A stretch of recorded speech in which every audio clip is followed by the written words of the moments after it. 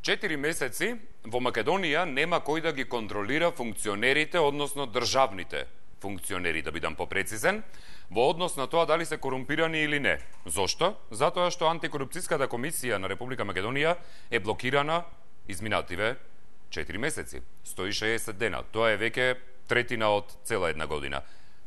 Затоа, во деталите кои што ги има колешката Ивана Стојкова во прилогот во продолжение, ќе се објасниме многу по подробно и потоа ќе се вратиме во студиото. Речиси 4 месеци државава функционира без клучното тело што треба да се бори против корупцијата. Нема кој да ја контролира работата на јавните функционери, а предметите стојат во фиоките на комисијата. Поставките на петтеми на антикорупционери кои си ги поднесоат, како беше објавен скандалозниот ревизорски извештај, кој покажа незаконско работење и финансиски малверзации, се чека на новиот закон за корупција и судирни интереси за да бидат избрани новите членови. Во овој момент не, не се држат седници во комисијата, не се решаваат предмети и не се постапува. Едноставно кажано, во Државната комисија спречување на на корупција, секретаријатот само ја администрира пристигнатата работа. И министерот за внатрешни работи Оливер Спасовски признава дека потребни се понатамошни реформи во справувањето со корупцијата и организираниот криминал. Организираниот криминал и корупција се две клучни области каде што Европската Унија со години ни дава забелешки. Согласно извештаите на Европската комисија за напредок капацитетот на институциите за справување со корупцијата покажуваат структурни и оперативни недостатоци. Потребни се понатамошни реформи во справување со определени видови на организиран криминал, како што се перењето на пари и финансискиот криминал, како и подобрување на евиденцијата за истраги, обвиненија и пресуди во борбата против организираниот криминал. Владата веќе работи на менување на моделот на антикорупцијската комисија, се прават и нови измени на законите за да може новата комисија да работи независно и без политички влијанија. Сепак кога ќе почне со работа регулаторното тело, одговор се уште нема. Тоа е темата за која што ќе разговараме, која веќе може и да се испише на екранот. Кој истражува корупција ке функционерите кога комисијата задолжена за тоа е блокирана 4 месеци?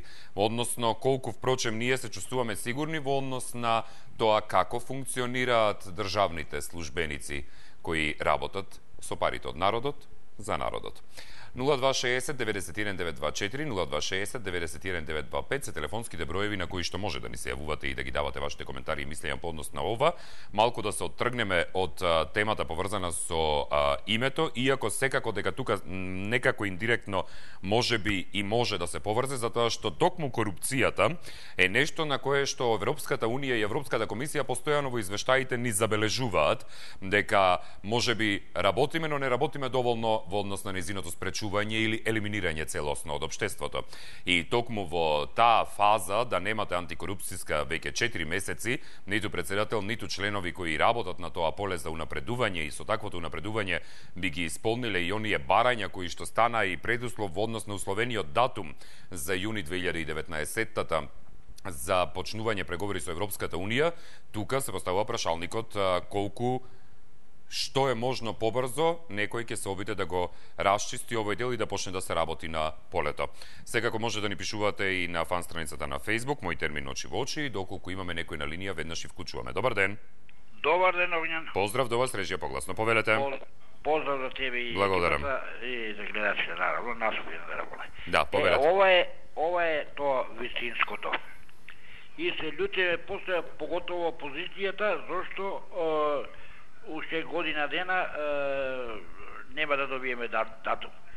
Па тие минатите десетина години направија растур и со корупционска комисија и со капиталот на државата и со сите установи, со сите министерства направија растур, оно све и сакат уште така. Да, е, нема така.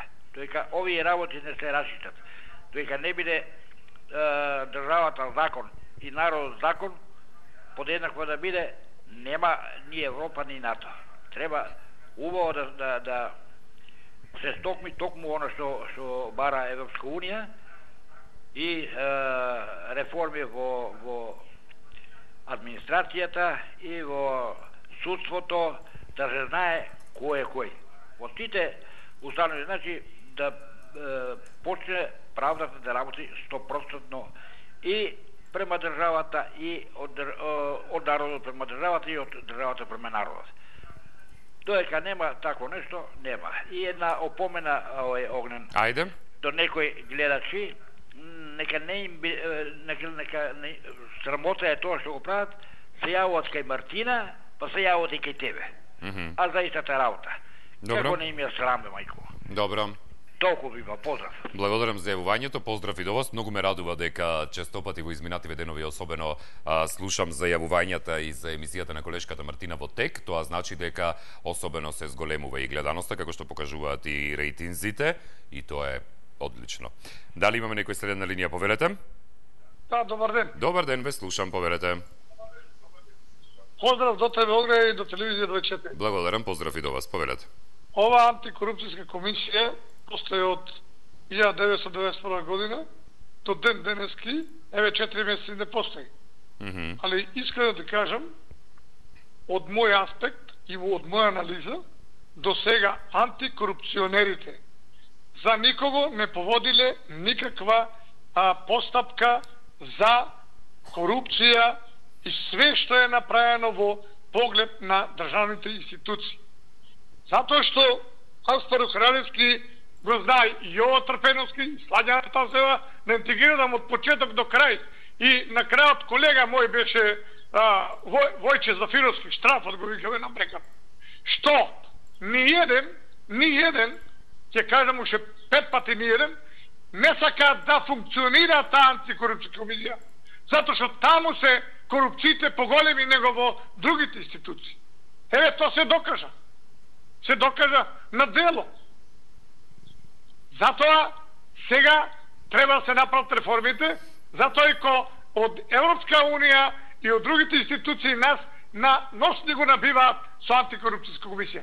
Корупцијата се уште не е сузбиена. Затоа владата е повикам што подхитно да направи реформи во таа антикорупцијска комисија, да постави прави луѓе кои ќе се борат против корупцијата. Каде ќе понесуваат пријави до суд до обвинителство за да се одговара. Додека тоа не се направи, џабе ние нас таа комисија што е нарекуваме антикорупцијска до ден денески нема поднесена ние на пријава до обвинителството да се покажи постапка за НН сторител и така натаму.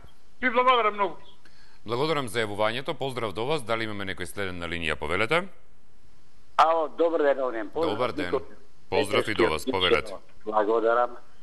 Е, во однос на темата, јас мислам има повеќе да коментираме. Значи, сите знаат дека 4 месеци таа антикорупцијска комисија беше блокирана. Блокирана ради криминалот која ко- го направи претходната власт која е замина во опозиција во денешно време. И сметам дека Европа тоа го следеше и ќе го изврши притисок значи, на нашата влада по секоја цена да најде начин како да се спро, спроведе таа проверка на сите оние кои имаат направено криминал невиден и антикорупцијата да почне да мора да работи. Со тоа што тие чека ова време во Македонија се замати, и јас ви гарантирам дека ова што го зборувам е пак со тоа што вчера слушам многу добро од новинарот на Хрватска и на Србија, од Брисел кој и на нашата од Македонија, кои кажа дека мора се Македонија да влезе во НАТО, значи да има поголема контрола над криминалот, над шутството, значи оние препораки кои се администрацијата и безбедноста на граѓаните. Кажа тие многу добро. Поради Косово што треба можда ќе се десни да се бие поделено на два дела, да се да се направи дестабилизација во државата, та тоа исто може да се префули во Македонија. Значи, тоа вчера тие го потврдија од Брисел, го кажа и затоа мислам дека по секоја цена дека Европската заедница и Национална Америка со поголеми притисоци, значи морат да извршат притисок да навреме сега тоа се спреси, да се врши контрола на сите оние кои се во криминал и судството да мора да работи по секоја цена, по закон, како што треба и по устав. Доста беше прикривање, доста беше заплашување. Значи, учеститам на господинот Зоран Заев, на Димитров и на оваа влада која конечно народена држава ја изводи на пат по патот на НАТО и Европска Унија. Ви посакувам се најглаво. Благодарам за јавувањето. Поздрав до вас. Дали имаме некој следен на линија, повелете? Ало, добар ден. Добар ден, ве слушам. Па какви што беа до сега комисиите, подобро и да не беа. Така и да и не е некоја голема загуба за државата што 4 месеца антикорупцијска не работи. Но проблемот е ако веќе се прави нова, нова антикорупцијска, согласно она што веќе ни се случува дека по овој поканите што ќе дојдат за НАТО и ова за ЕУ, Мислам дека стварно треба да направиме комисија која ќе работи, која ќе даде резултати, но не да се слика и само да зима плата. Затоа и не гледам, не гледам потреба од брзање, туку да се обмисли убаво и процесот, да се изберат добро личностите, да се предложат и да се формира таа комисија и за да почне да работи, ама сварно да работи онака во интерес на граѓаните и во државата, со цел да се спречи корупцијата кај функционерите, која за жал не можеме да се пофалиме дека све е чисто или све е дека дека нема да ја има. Од тие причини јас не, не сум многу заклучен што не функционира. Ви реков, поише ме интересира да, да се направи согласно она што ни следува и она што ќе има потреба да се рестартираат институциите во државата, бидејќи треба да се реформира, тоа е една од условите што вчера ни го поставија, дека мора да ги реформираме државните служби, така да и оваа комисија согласно во, во тие препораки би требало да се вметне некако да се изберат прави личности за право место. Доста беше ова правење комисии реда ради само да зимаат плата, клати врата зима и плата без никакви работи и да ни кажуваат за веки за веков амин за непрашање, него кој ќе поставите вие новинарите прашање, да знае господинот да одговори со факти со аргументи да демантира или да потврди дека е така, а не да штити нечии интереси или нечии личности. Ако некој му фатиле рацете кај што не треба, треба јавно да се каже, а не да се крие да се штити. Толку пријатно. Благодарам за јавувањето, пријатно и до вас. Од пораките на интернет издвојувам, Трајче ни пишува вели здраво огнен, поздрав од Трајче Зубац од Кавадарци. Ние во Македонија сме ненормални, што уште треба да ни кажат од Европа, да ни дувнат во ушите. Па ние немаме антикорупцијска комисија, а пак за завршени дела со антикорупцијски скандали и да не зборуваме. Нашиот суд не може да започне ни чисти дела во врска со криминал, а не пак да заврши некое дело. А, нема да не биде ако продолжиме вака, завршува Трајче. Во пишувањето Ристо Л пак ни пишува вели нема антикорупцијска и чекаме датум од Европската унија. И ДПМНЕ и СДСМ меѓусебно се обвинуваат кој е виновен за датумот. Иста багра се. Само и овој народов задоен задоен до бескрај. Се е корумпирано. Ни нема спас запишува тој на крајот Добар ден. Ало, добар ден. Добар ден. Антикорупцијска не блокирана е 4 месеци. Mm -hmm македонците може да живееме и без антикорупцијска, и без министер на здравство, министер, заменик министерот изјави, се оде во ред и ако немаме министер за здравство, а, Левица ги откри вице-премиерите како зимале по 113 16 евра плюс платата незаконски. Тие не се корумпирани. Оти еднаш се дадоа на сиромашкиот народ туку гледат они 100 евра да земат да кусо тие 100 дали ќе ги подкрепат. Сите го ја бичниот граѓанин, и ВМРО, и СДС, и ДУИ, и сите, сите, сите гледат да ограбат, сите се честни и прави, сите се со душа, сите не ограбувале, а од што се збогатија? Од што станаа тешки милиардери? Од кој пак вика, зошто народ не се освести да застане на здрави нозе или да има да за сите или за никој? Зошто во страничниот граѓанин цел живот? Сите го ба два прста да крене, никој не го ба помогне и да го изведе на прав пат. Пријатно огнен и многу фала. Благодарам за јавувањето, пријатно и до вас. Дали имаме некој следен на линија? Добар ден. Добар ден, огнен. Поздрав, ве слушам. Поздрав до, до тебе и до 24 вести. Благодарам, поверете.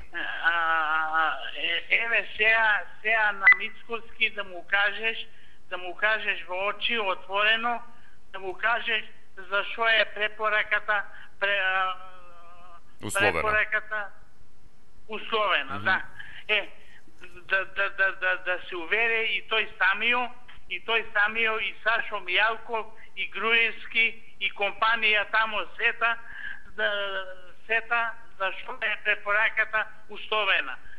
Антикорупцијска комисија 4 месеци немаме и, и, и, и та антикорупцијска ја, ја би ја, ја би ја пре, преименувал и инаку супер комисија, супер корупцијска комисија. Е так, така огнече. Добро. По поздрав и, и се најдобро. Благодарам, поздрав и до вас, Ивам се убаво. А што се однесува до оние кои ни пишуваат на Facebook, Зафир ни пишува вели огне, па можно ли е ова? Се исти луѓе се јавуваат почнувајќи од 8 часот па до крај. Се пензионери не оставаат простор на ниту еден млад човек да се јави, ниту еден помлад нагласено тоа од 60 години. Имаат ли милост, имаат ли некакви други обврски освен да висат по телевизија и радија? Почнува да станува морбидно, сите се експерти за се, за сите понудени теми имаат решение. Ова е лудило, завршува Зафир. Додека пак Стеван ни пишува и вели Мојот комшија на влезната порта ставил надпис Пази куче, а куче нема. да, во однос на, на антикорупцијската, одличен коментар Стеван, морам да признам. Благодарам што ни пишавте. Дејан Ј пак ни пишува вели здраво огнен. Не 4 месеци, туку 28-29 години а пашите се без контрола. Изедоа и изглодаа се што можеше. Оваа Монти Пајтон комисија беше само формалност, демек постои, а во суштина не ги гонеа крупните риби. Впрочем, како би ги гонеле тие кои ги плаќаат и кои ги назначуваат? Абсурди во абсурдистан. Поздрав. Поздрав и до вас, Дејан. Дали имаме некој следен на линија, повелете? Ало, добар ден. Да, ве слушам. А, коментарот беше одличен со куќето, точно. Mm -hmm. а, и, и, и не добар, туку и точен. Так. А, Огнен, а, јас ќе напишам еден предлог до владата, да ти кажем право. Ајде. За да, антикорупцијска треба ААК, значи анти анти корупцијска комисија да има. Добро. Значи антикорупцијска анти анти да а, прати антикорупцијската, ме разбираш? Mm -hmm. Оти ќе фативме на плячка, значи треба и над нив некоја комисија да има. Доколку, доколку се исти, подобро да не постои, зашто ем крадеа, ем плати земаа. Значи, ем дебели плати, ем плячка.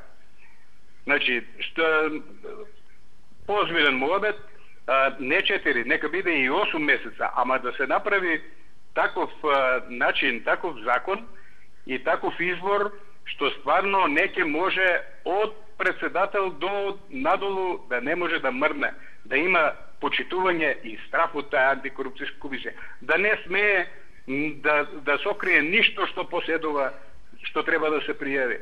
А не како оно и сега многу заборавив името, за веков и, и веков Амин. за век и веков амин Да. за имотот на Груевски. Па не не треба да биде тајна за никој. Значи од најнисок функционер до највисок треба да се знае како влегува така и како излегува од власт. Тоа дали плячкал или не, дали платите му стигале или нешто друго е. Обично се знае платата колку е и, и 2000, и 3000, и 5000 евра да биде, па не може да се сад овој капитал што го има. Толку од мене. Пријатно. Благодарам за јавувањето, пријатно и до вас. Дали имаме некој следен на линија, повелете? Ало, добар ден. Добар ден. Јас антикорупцијата ќе пофалам на највисоко ниво. Еве зашто. Ајде.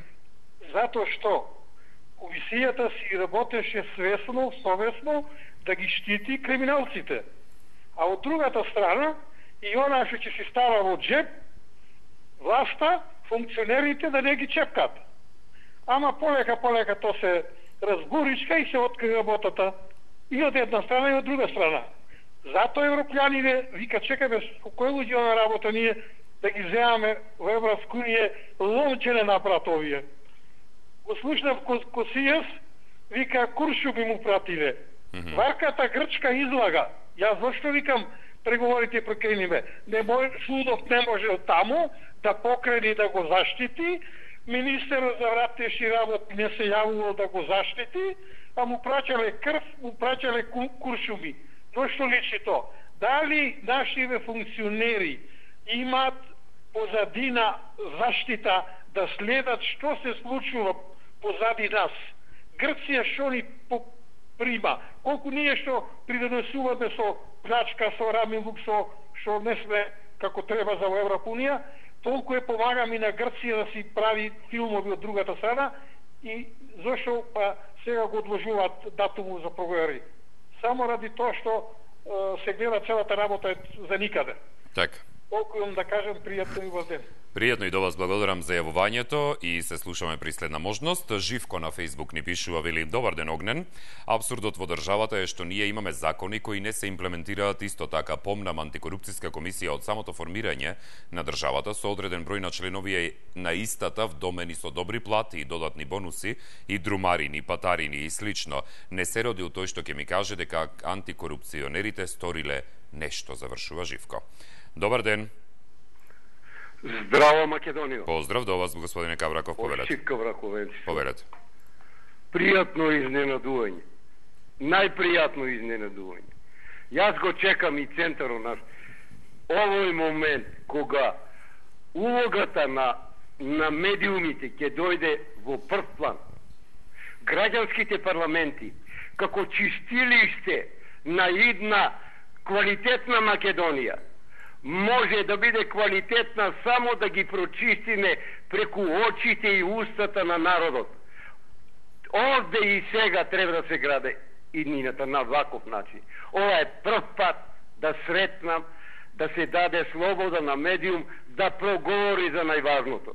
Разберете, луѓе, партиите ги оставете. Дојде времето да спасуваме нешто свето, свето заедничко. Гарантирам дека Македонија е најперспективна земја. Земја која можеме да уредиме по наш терк. Земја, ама не може народот. Заедно треба да видиме синегрија, народот и овие граѓански парламенти. Секи изчистиме, веруете, корекција ќе направиме на се, само да ја доловиме висината, овде и сега, во овие граѓански парламенти, ќе дојде тоа најважното, најважното реалноста да се види на овој измочен народ. Благодарам многу и пријатно. Благодарам за јавувањето, поздрав до вас. Дали имаме некој друг на линија, повелете? Добар ден. Добар ден. Поздрав до вас. Благодарам, поздрав и до вас. 24. Поздрав, повелете. Сакам да кажам со корупцијска комисија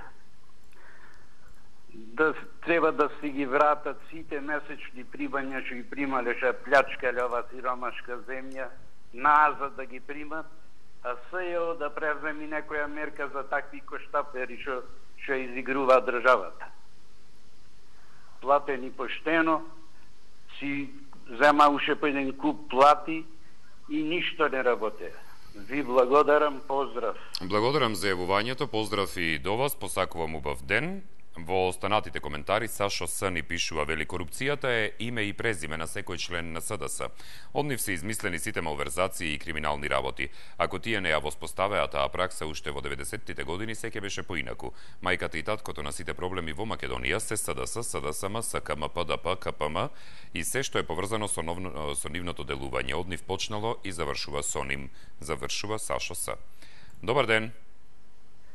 Добар ден. Ве слушам. Секоја чест на алергијата на Сашо. Повелете. Па, па видете вака, антикорупцијска комисија. Па мене ми е страв се, еве, четири месеци веќе како што не е избрана, а и таа што беше, се виде што правеше, значи, буквално беше плячка на народните пари, храмилот, по наше речено. така да ми се чини дека случајно да не функционираме како што имаше порано една изрека дека Лјупчо и Бранко се договориле, ти не ме гибај мене, јас не те гибам тебе. Мене ми е страх да не, да не се наоѓаме случајно во таква една ситуација. Mm -hmm. uh, антикорупцијската комисија треба да биде избрана што побрзо и да функционира. Меѓутоа, би да ја контролира и оваа власт. Добро. И оваа власт е се цвекиња за мирисење. А, не се сите, барем.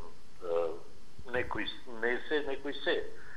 А, така да би требало што побрзо да се формира таа комисија и да а, почне да функционира, а не онака како што функционираше предходната, предходните уствари.